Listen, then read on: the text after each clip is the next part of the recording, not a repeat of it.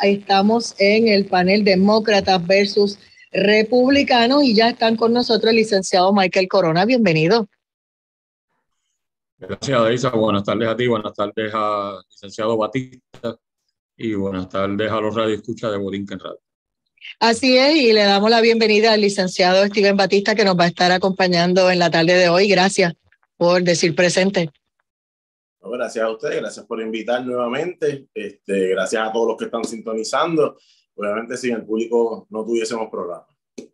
Así es, y yo tengo que hacer una mención este, que no sabía que nuestro amigo eh, y panelista Miguel Hernández Vivoni eh, había perdido a su mamá y ayer estaba en todo ese proceso, ¿verdad?, de darle cristiana sepultura. Así que desde aquí sabes que eh, mi corazón está contigo y hoy le escribí y hablamos y, y obviamente pues yo sé que es un golpe fuerte. pero vamos a ver, ¿verdad? Este, porque de, un golpe así cuando uno pierde a su progenitor no es nada fácil. Em, vamos al tema, tenemos tres temas. Yo quiero hablar de la visita de Joe Biden desde el punto de vista que los panelistas quieran hablar. Estamos em, hablando desde el punto de vista económico, desde el punto de vista mediático, eh, de todos los ángulos habido y por haber. Igualmente sobre el tema eh, de mm, la long midterm election en el 2022, que son ahora en noviembre, y sobre el proyecto de la Cámara, el 9383 el HR 9383. Vamos a hablar de todo eso. Así que comenzamos con eh, la visita de Biden. Y yo sé que obviamente en esta ocasión eso denlo por sentado que nuestros panelistas no van a estar de acuerdo con el tema de la visita, pero para eso estamos, para escucharlos y ver cuál es eh, su análisis. Em, vamos a comenzar con el licenciado Steven Batista. ¿Cómo, desde el punto de que quieras arrancar, cómo ves la visita de Joe Biden, presidente de los Estados Unidos? Este, gracias por darme la batuta. Yo creo que la visita de cualquier presidente eh, del momento, obviamente esto, en esto tocó ahora Joe Biden, en el 2017 cuando fue María, a quien le tocó fue Trump, y era el deber de Trump en aquel momento y es el deber de Biden ahora también, porque nosotros somos ciudadanos americanos. So, al final del día, él tiene que velar también por nuestra seguridad, nuestra salud, eh, que ver qué fue lo que ocurrió, que experimente de primera mano, no obviamente no, no, no, el evento atmosférico, sino lo que están sufriendo los puertorriqueños, para entonces poder dar las directrices y las órdenes. Mira, en Puerto Rico hace falta esto, hace falta lo otro, este, cuánto dinero de verdad se necesita. Eh, so, en el aspecto como líder, eh, yo pienso, mira, de la misma manera que puedo decir que en el 2017 Trump lo hizo bien, por lo menos el llegar a Puerto Rico, lo que hizo en Puerto Rico, pues digamos que no, no fue lo mejor este, en términos mediáticos, pero lo que hizo Joe Biden, pues era de esperarse de un líder verdadero. So, yo entiendo que lo hizo bien. Al respecto del dinero que prometió, que iba a enviar para la reestructuración del el sistema eléctrico, por lo menos eso fue lo que dijo. Yo espero que no solamente cumpla, sino que cuando el dinero llegue se utilice. Pero ya obviamente esa parte sería algo más local. Este, yo sé que él se, este, visitó áreas afectadas, que por eso fue que él, él llegó por el sur, porque la parte más importante, obviamente él pudo haber llegado a Isla Grande o pudo haber llegado a, Luis Muñoz Marín, pero decidió llegar al sur porque eh, fue el área más afectada en Puerto Rico. O en términos mediáticos, eh, que es lo, lo, que lamentablemente mucha gente critica, pues obviamente llegó para la foto, llegó para esto, pero la realidad es lo que tenía que hacer. Ahora, eh, en términos de con las personas que se reunió, obviamente no se puede reunir con los 3.2 millones de residentes que, que, están en la isla, ni puede reunirse con todo el mundo que sufrió. Pero entiendo que el llegar y reunirse con, bueno, las visitas que hizo, para ser más específico, eh, lo hizo adecuadamente y por lo menos no lució en ridículo como el presidente anterior cuando vino aquí para María, que yo creo que esa fue la parte más importante, que es el no lucir como un ridículo y demostrarle al pueblo puertorriqueño que está con él. Vamos con el licenciado Michael Corona. Antes que nada, quiero aclarar a los radioescuchas que estoy por usando un hotspot porque no tengo sistema de Wi-Fi en, en mi casa. Este, quiero empezar eh, enviando mis condolencias al licenciado Miguel Hernández Pibón eh, por la muerte de su señora madre, una situación que entristece a cualquier ser humano y quiero enviarle un abrazo a él, a su familia y desearle mucha fortaleza. Yo me enteré ahora mismo qué pasó, Así que quería mencionar eso, que siempre lo aprecio eh, y lo sabe. Así que lo mejor para él, por su familia. Con relación a este, este asunto de la visita de Joe Biden, esto fue una visita puramente para política. Biden hizo el ridículo completo en la, en la visita. Tuvo dos horas, vino aquí para apoyar la campaña de la eh, congresista de Nueva York, Nidia Vela. Para eso fue que él vino aquí. Él no vino aquí por Puerto Rico, él no vino aquí por los huracanes, él no vino aquí porque estaba preocupado con nada. A un mes y medio, no, un mes del midterm, del midterm, y él sabe que el Partido Demócrata va a perder los dos escaños del Congreso y él está hablándole no al puertorriqueño que vive aquí, que no vota por él y no puede votar por él, sino a la comunidad puertorriqueña, 5 millones de habitantes que viven en Estados Unidos. Y ese es el mensaje de él hacia ellos. Y obviamente cuando él llegó estaba claro que quien controla la agenda aquí es eh, los liberales de izquierda demócratas que dicen que están en la diáspora, que no es otra cosa que están viviendo en los estados. Eh, muy independentistas ellos, muy nacionalistas, pero ninguno viene acá a pelear por Puerto Rico. Eh, eso es lo que está detrás de esto. Él llegó aquí, tuvo un par de horas, balbuceó un poco, como él siempre hace, dijo que Puerto Rico, cuando él estaba en el Comité Judicial del Senado, él se acuerda porque Puerto Rico está en el mismo circuito de apelaciones que su estado Delaware, tercer circuito. Pequeño problema que Puerto Rico está en el primer circuito desde hace más de un siglo, en Boston. Eh, no supo no supo en sí elaborar gran cosa en términos de mensaje. Dijo que iba a firmar eh, un dinero de 60 millones de dólares y básicamente hizo los gestos vacíos que por lo general él hace, siguiendo el libreto, eh, y se marchó eh, un par de horas. Él no recorrió mucho, él cogió Ponce porque me imagino que los agentes de campaña le dijeron que era la área más afectada en términos de falta de luz. Este, pero una vez más este, quedó demostrado que el Partido Demócrata tiene dos componentes, el liderato del PNP, por un lado, y el liderato del Partido Popular. Y quien estaba manejando y quien tiene el oído del presidente Biden en este caso es el Partido Popular dentro del Partido Demócrata. Así que para los que se creen que la estadidad va a conseguirse a través de un partido que está dominado por el Partido Popular, pues es un iluso. Eh, también el tema que no se habla es que estamos ya a 4 de octubre. Al día de hoy, nadie del liderato del PNP ni del Partido Demócrata ni los populares le ha dicho a Puerto Rico qué pasó con el proyecto de plebiscito que anunciaron con tanto bombo y platillo en junio de este año. Y entiendo que ya se colgó. Faltan 30 días. Estoy seguro que no va a pasar la Cámara y ciertamente no va a pasar el Senado. Así que queda como otro gesto vacío de una administración demócrata que domina en Puerto Rico a través de la administración de Pedro Pierluisi a través de, de Dalmau en, en, el Senado, este, Tatito Hernández en la Cámara, y que domina en los Estados Unidos ambas cámaras congresionales y también el presidente de los Estados Unidos. Y toda esa combinación de demócratas no producen un proyecto de admisión de Puerto Rico como Estado. Es un fracaso total. Ellos no quieren hablar del asunto porque han tomado el pelo a la gente en Puerto Rico. Y esa visita de ayer dio vergüenza. Ni se mezcló con la gente, ni se juntó con la gente como hizo el presidente Trump cuando vino aquí, que se confundió con la gente, que habló con ellos. Él estuvo a distancia con su pudócrata, se montó en su avión y arrancó de aquí y nada hizo por Puerto Rico, ni le importa tampoco. No le importa porque nosotros no votamos por él. Esa es la situación.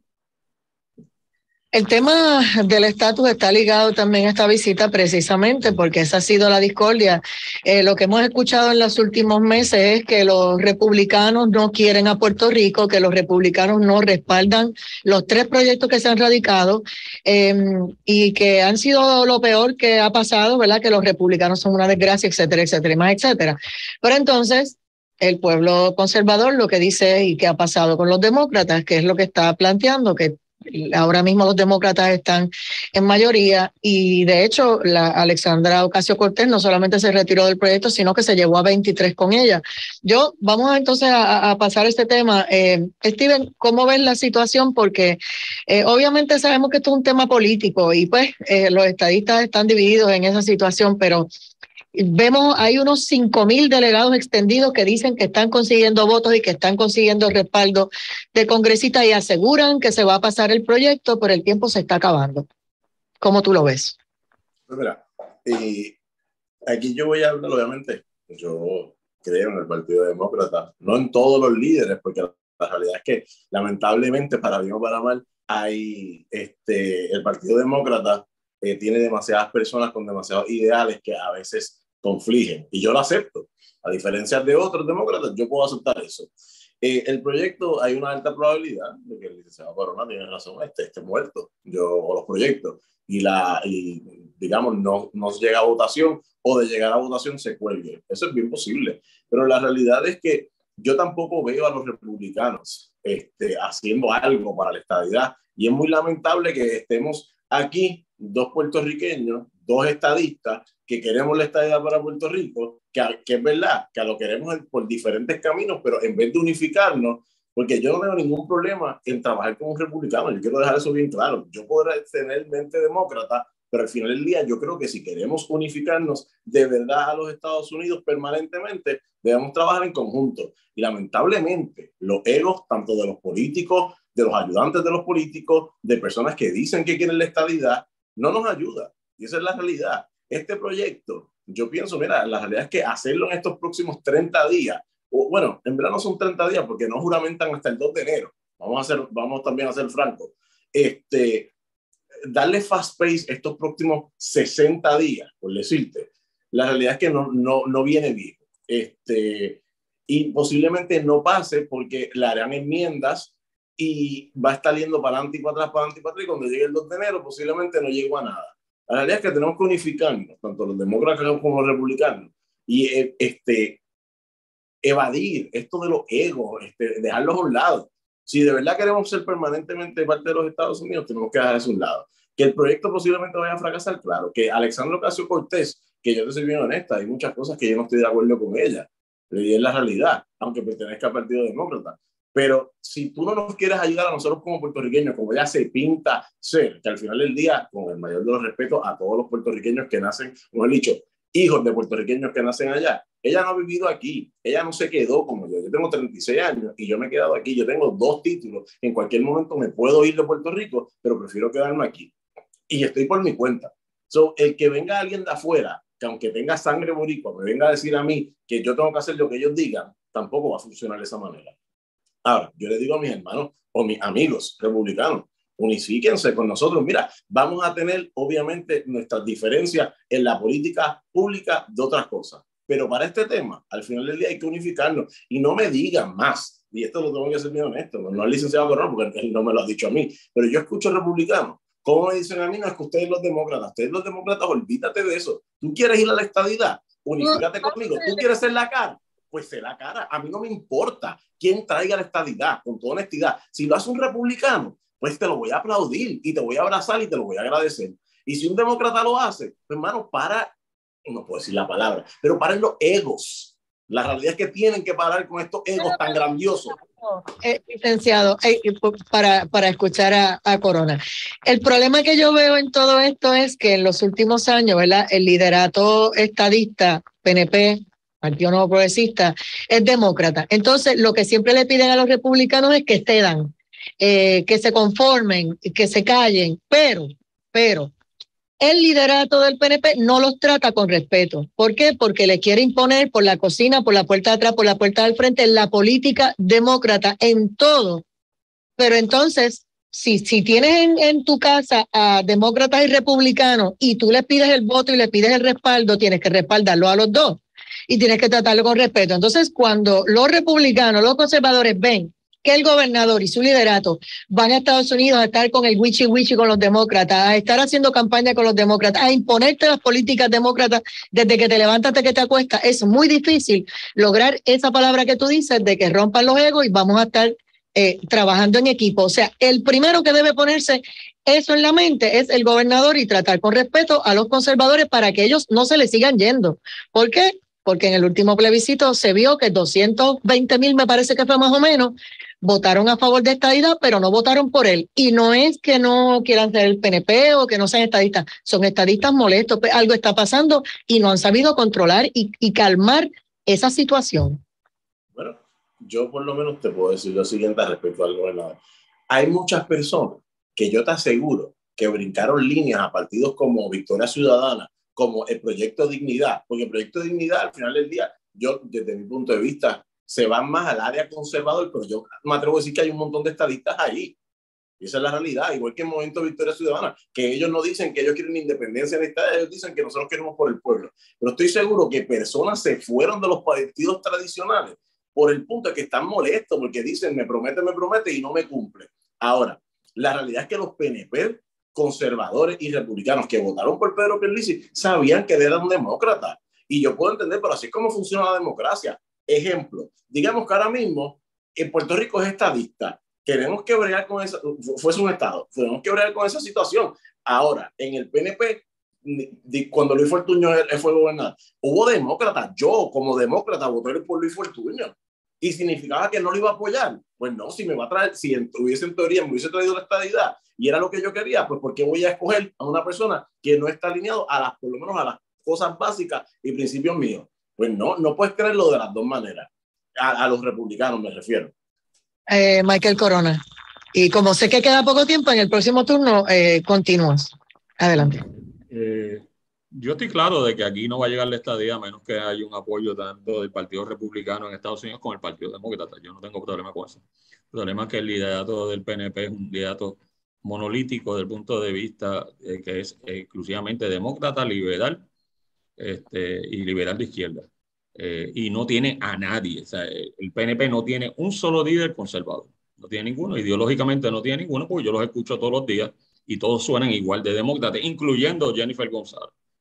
Eh, y ellos, y Jennifer González ha dicho abiertamente que ella repudia a Trump y que ella apoya a candidatos demócratas en Estados Unidos. O sea, que están todos de un lado. Entonces, no le ideológicamente imponen la agenda demócrata aquí, de perspectiva de género, de todas las cosas que ellos se pasan poniendo leyes de emergencia y actúan como un gobierno demócrata. Y entonces vienen y cuando tienen problemas, pues rápido se vienen y dicen los republicanos tienen la culpa en Puerto Rico.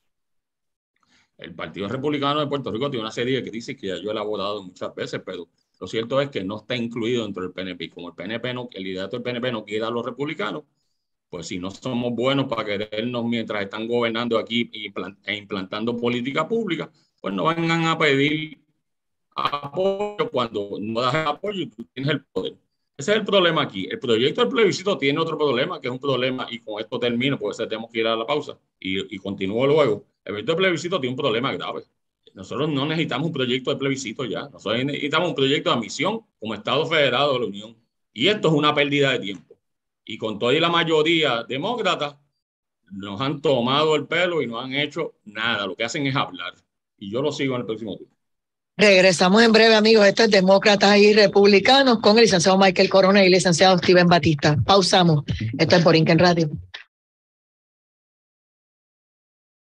Y regresamos a directo al punto. Soy Adaita Cortea. La verdad que los radioescuchas son la changa maximina, como dicen por ahí. Ustedes son bravos.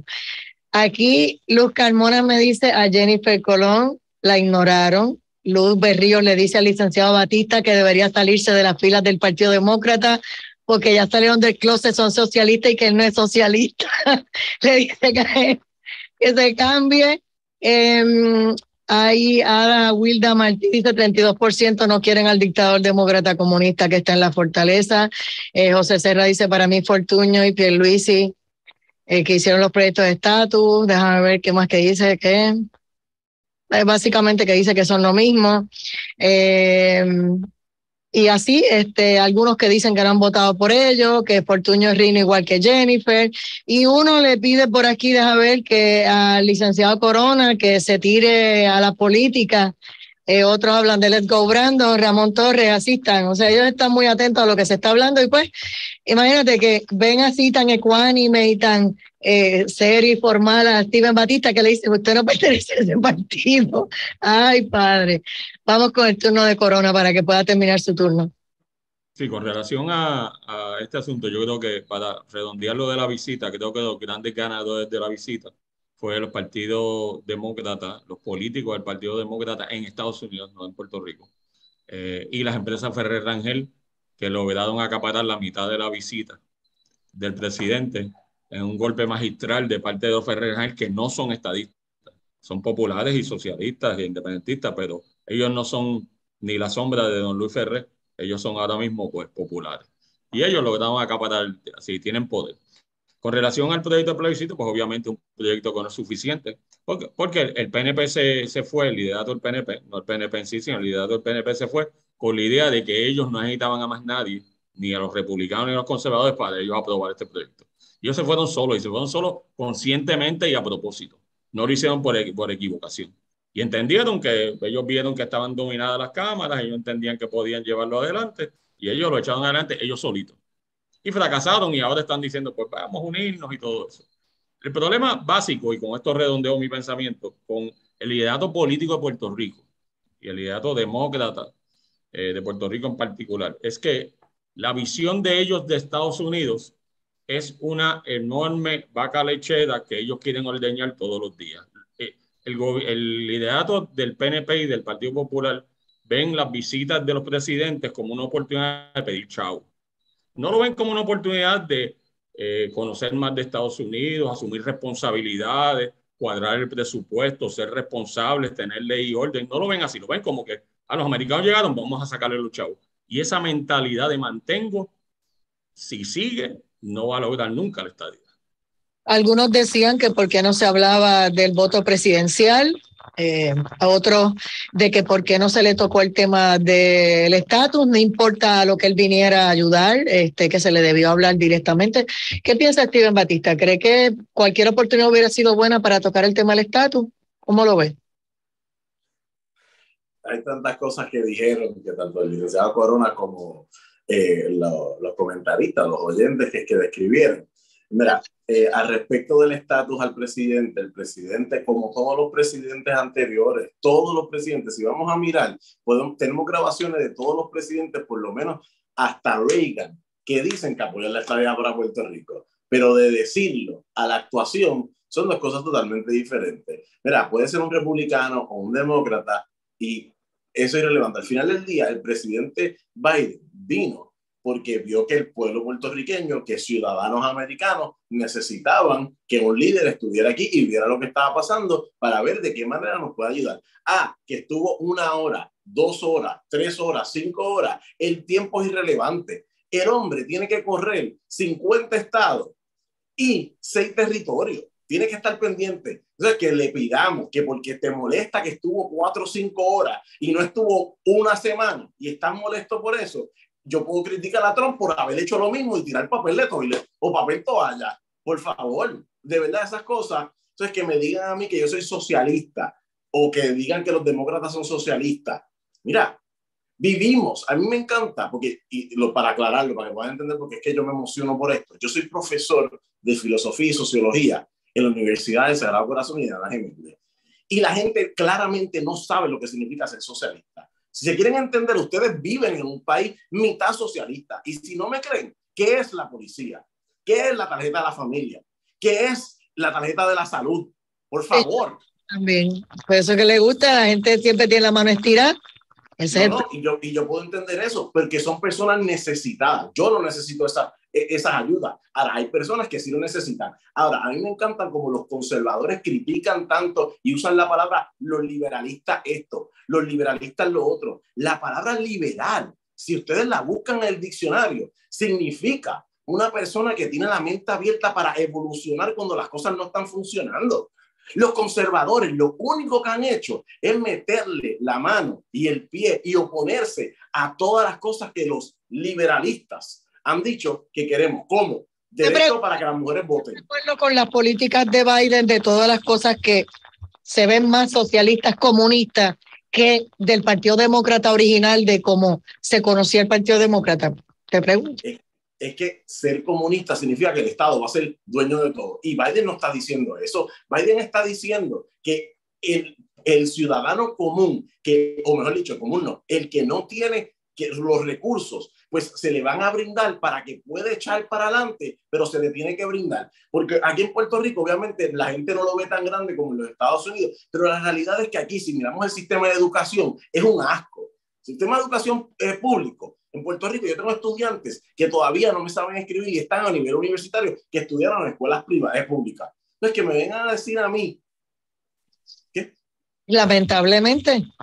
Eso que, me vengan a decir a mí que, que no, porque es que el, no, Biden no quiere que, que, el gobierno sea el dueño de todo. Biden lo único, igual que los demócratas. Cuando él impuso que si no tenían los baños donde las nenes y los nenes pudieran entrar, le quitaba los fondos federales para los comedores. A mí eso me impresionó y eso fue una orden del gobierno, de su gobierno. A mí, y hay otras cosas que ha hecho que, por eso te digo, soslayadamente hay ciertas cosas que uno dice, este no es el Estados Unidos que nosotros conocemos, por lo menos yo. Claro, y ahí yo puedo comentar, por lo menos yo soy de la filosofía, digamos, yo soy demócrata, pero yo soy de centro, digamos, porque hay cosas que yo sé que no están bien. Yo pienso que en ese tema en específico, porque tampoco podemos tirar todo y decir que todos son iguales. En ese tema que acabas de decir, yo considero que son los padres quienes deben educar a sus niños, que no se le puede obligar a una persona a que sabes que si tú no piensas como yo, porque entonces ahí entras en el el error que para mí cometen muchos republicanos, que si tú no piensas como yo, pues entonces está mal. Ahí, Biden error. Yo te, puedo, yo te lo puedo aceptar. Yo como demócrata, como ser humano, te puedo decir que está mal, que al final del día esa orden estuvo mal. Ahora, cuando se habla, cuando el gobierno federal habla de vamos a ayudar a estas comunidades pobres para que salgan adelante, que esto no es que vamos a entregarle este dinero para siempre, esto es para que se puedan levantar y luego poder quitarle esa ayuda para que ellos continúen. El problema de los, de los conservadores es que no quieren ayudar a nadie y entienden que si yo lo hago, todo el mundo lo puede hacer. Pero qué casualidad que cada vez que un presidente demócrata sube, es, ah, cuando digo subo, sube al poder, es quien termina mejorando la economía. Porque si vamos de los 80 para acá, lo que fue Reagan y el primer presidente Bush, ellos pusieron la economía por el piso y tuvo que Clinton venir a ayudar. De nuevo, en el 2000 al 2008 vino eh, Bush, este hijo, y, y lo que hizo fue un desmadre con la economía. Y si no llega a venir este Obama,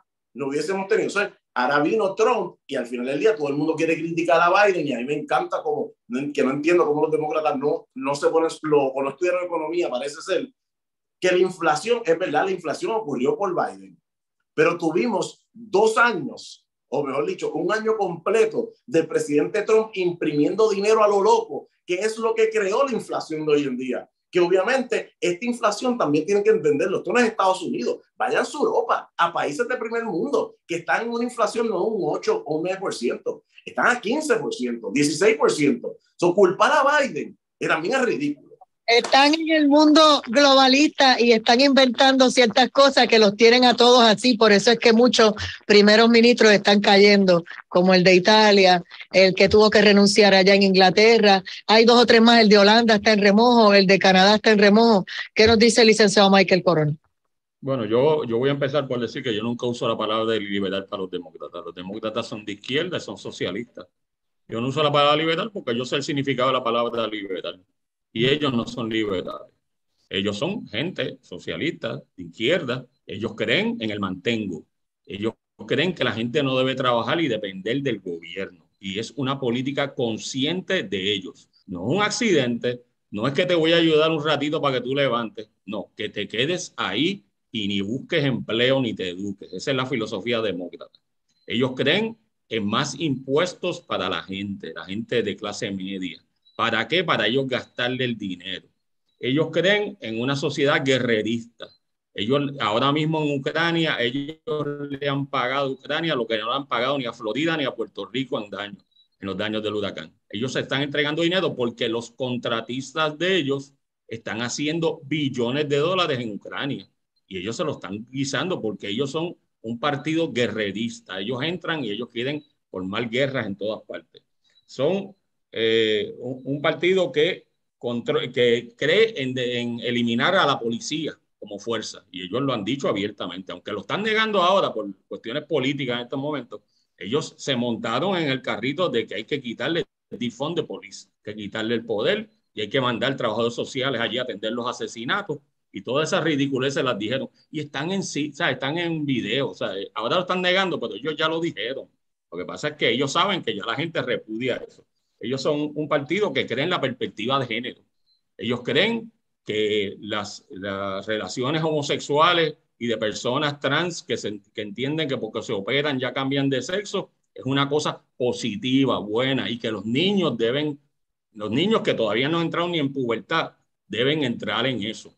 Eh, todas esas ellos creen en que la frontera debe estar abierta, que todas las personas indocumentadas entren porque ellos entienden que esa gente va a votar por ellos. Todas estas son políticas conscientes, ninguna de las cuales mencionó obviamente el licenciado Batista, porque estamos hablando de otra cosa en cuanto a que si cada vez que se sepan los demócratas la economía está mejor, mira, el mejor ejemplo, el Exhibit 1, es este, este presidente. La precio de la gasolina está por las nubes, el suplido de comida no sirve, este, tienen una inflación fuera de control, siguen gastando dinero a dos manos porque ellos lo que hacen es gastar dinero para quedarse con el apoyo de la gente y siempre que llegan al poder son un desastre. Se olvidan que cuando estuvo Obama en su primer término, Obama entregó millones de dólares a los bancos para tratar, para salvarlos. ¿De dónde salieron los billones de dólares? Salieron del contribuyente americano. ¿Por qué? Porque el sistema se cayó. ¿Y, y cómo resuelve un demócrata caerse el sistema? Le meten dinero, no solamente a la gente que ellos quieren mantener dependientes, sino a los multimillonarios que los apoyan a ellos también porque ellos dicen que son el partido del, del, pequeño, no lo son, son el partido de las grandes perdona, perdona que te interrumpa, ahora mismo en la inflación la gente lo que está diciendo es que es por la pandemia y que Biden no tiene la culpa. ¿Qué, ¿Cuál es la opinión de Corona? Bueno, yo, el, eh, el Partido Republicano está claro en que eh, lo de la pandemia y, y lo de estar gastando dinero y cerrar la economía fue un error. Los demócratas, si los deja, están 15 años con la pandemia porque es, y, y, el mejor ejemplo es el gobierno de Puerto Rico. El gobierno de Puerto Rico se quedó con las restricciones de la pandemia porque seguían llegando los fondos federales. No hacen más que Biden decir que se acabaron los fondos federales, ya ellos quítense las mascarillas, todo el mundo libre, no hay que presentar tarjeta de vacuna, no porque están preocupados por la salud, sino porque no le están entrando el dinero federal. Y esa filosofía, el mejor ejemplo de lo que es un, gobierno demócrata, es el gobierno de Puerto Rico es el gobierno perfecto para un demócrata. Le encanta pedir dinero, no crean infraestructura, no crean empresarios. Ellos lo que quieren es seguir pidiendo dinero con la mano extendida. Eso, ese es el Partido Demócrata. Cuando hablas sobre eso, sí, voy contigo, Steven. Me recuerdo también el asunto de los residenciales públicos, que se decía que esto era un lugar temporero para que entonces la gente fuera transicionando consiguieran trabajo y se fueran mudando. Y lo que hemos hecho ahí es generaciones, tres o cuatro generaciones de los hijos, de los hijos, de los nietos que se quedan ahí y no han podido salir e inclusive cuando consiguen trabajo, muchas veces renuncian a los trabajos porque rápido los ponen a pagar, obviamente, apartamentos, les eh, ponen a pagar luz, agua y demás, y como ellos quieren cero en todo y recibir los cupones, pues entonces han renunciado a su trabajo, que me lo han dicho a mí. Personas que hacen las uñas o personas que trabajan como mecánicos y otras áreas han dicho, espérate, eh, como yo no quiero perder mi apartamento en el residencial, pues yo renuncio a los trabajos. Pero vamos con Steven Batista tu reacción a lo que haya hablado eh, Corona y cualquier otro tema. Pues eh, a lo que dijo Corona, mira, eh, número uno, ningún demócrata quiere la frontera abierta. Yo como demócrata te puedo decir que ninguna frontera, ni la aérea, ni la de tierra, ni la marítima, la quiero abierta. Yo no quiero que entre nada a mi casa, cuando digo mi casa, sea Puerto Rico o los Estados Unidos, que le pueda traer peligro a sus ciudadanos o algún tipo de emergencia de salud innecesaria. Al respecto de la perspectiva de género, mezclaste cosas, porque perspectiva de género, número uno, se trata de la comprensión del ser humano y respetar al ser humano. Ahora, en eso yo estoy a favor. En lo que yo sí estoy en contra es decirle a niños, que lo digo ahorita y lo voy a dejar claro ahora, decirle a niños que todo esto está bien. No, no, no. Eso le pertenece a los papás y cuando lleguen a la adultez, hacerlo. Ah, que hayan líderes demócratas que quieran hacer eso. No me compares ni me juntes a ellos. Desde ya te lo, ah, te lo digo. Al igual, que es como decir. llevar eso. Y yo sé que tú no estás de acuerdo, lo acabas de decir, pero es peligrosísimo. Claro, y estoy por eso es que estoy en contra. Al igual que yo decir que todos los republicanos son iguales. Y eso es falso. Vamos, este, para aclarar eso. Segundo, la economía. Vamos a hablar de economía porque eso me encanta. La economía. Cuando dijiste que Obama le dio el dinero, yo decía, espérate, yo recuerdo, porque aunque yo sea bastante joven, yo recuerdo que fue en octubre del 2008, un mes antes de las elecciones. Y en el 2008 quien era presidente era Bush. Y efectivamente, para decirte más, octubre 3 del 2008, Bush firmó 700 billones de dólares para que, para que los bancos tuvieran. No fue Obama. Obama de un 14% de desempleo lo bajó a 4%. Obama le dio plan médico a, o pero no plan médico, sino seguro médico a sobre 20 millones de, eh, de ciudadanos americanos. Obama subió la economía más de un 50% de lo que estaba en el 2008 a cuando dejó este, la presidencia. Cuando Trump entra, él tenía y corrió con todo eso hasta el 2018. De momento, todas el, el, el acta eh, eliminando los impuestos a, a los super ricos, que es de donde se saca el dinero de los Estados Unidos. ¿Qué hizo?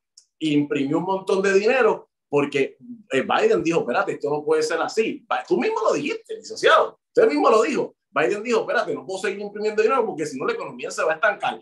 Entonces van a culpar a que Biden fue el que subió la gasolina pero cuando vengamos en, en, diciembre y me vas a invitar a en enero, cuando la gasolina esté en menos de 3 dólares el, el galón, que ahora mismo está en 5 y pico, ah, eso no, eso no fue gracias a Biden, porque lo vas a culpar por subirlo a 5 y pico, pero cuando vas a 3 y pico, no, no, eso no fue él, eso fue otra cosa que hicimos, porque los midterms supuestamente ganamos, que los midterms, te lo adelanto, posiblemente los republicanos ganen la Cámara de Representantes, pero yo te aseguro que los republicanos no van a ganar el Senado Ah, que posiblemente se quede 51-49, pero como quieren los demócratas van a tener el control.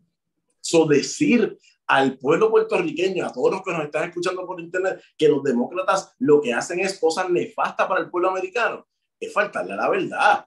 La realidad es que los demócratas no son perfectos ni los republicanos, pero cuando un demócrata está en poder y la historia está ahí, los datos, no me lo invento yo, la economía mejora, los trabajos suben, el desempleo baja, ah, que queremos hablar de Puerto Rico, del mantengo de Puerto Rico, pues vamos a hablar de los 50 estados. Y da la casualidad que de los 50 estados, la pobreza en 33 de ellos, la, de, los, de, 33 estados, 32 son republicanos y uno demócrata. Y está número 31. Y los demás, que son demócratas, esos son los mejores que tienen economía. no, no me vendan a mí el, el, sueño republicano y conservador, que es lo que nos lleva a la gloria, cuando al final del día, para los derechos de las mujeres, que lo dio un presidente demócrata. El seguro social, Medicare, Medicaid, el derecho de, los de los negros a que votaran, derechos civiles, derechos para que personas menores de 25 años votaran, la comunidad LGBTQ tuviese el derecho, punto, legalmente, no estoy hablando de meterse a la gente, legalmente tengan el derecho de ser iguales. Y me están hablando a mí que todo eso lo hizo un demócrata, pero el Partido Republicano es el mejor. No, por favor, no me falte el respeto. Vamos a ver. Dos minutos, Michael. yo, no sé qué estaba escuchando el licenciado Batista. Yo no dije ni que el Partido Republicano es mejor porque yo no hablo así. Segundo, yo no dije que yo estaba de acuerdo que Biden no había gastado porque Biden ha gastado a dos manos. Así que yo nunca he dicho eso. Yo reitero que aunque está joven el licenciado, no se acuerda que en el 2009 y el 2010 fue el bailout multimillonario de Obama a los bancos. No fue en el 2008, fue en el 2009 y en el 2010.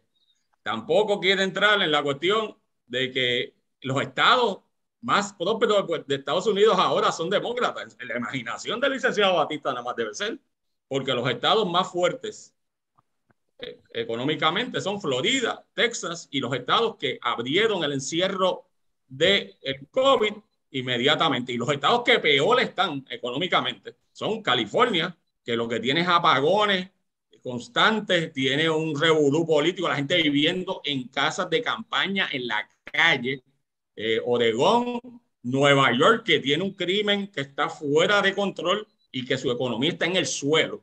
Yo no sé de dónde saca el licenciado Batista las estadísticas para decir que 32 de los 33 partidos son, de los tres estados son, son republicanos. Eso es totalmente falso. Y en cuanto a esto, como terminó, me, me ha dado la razón.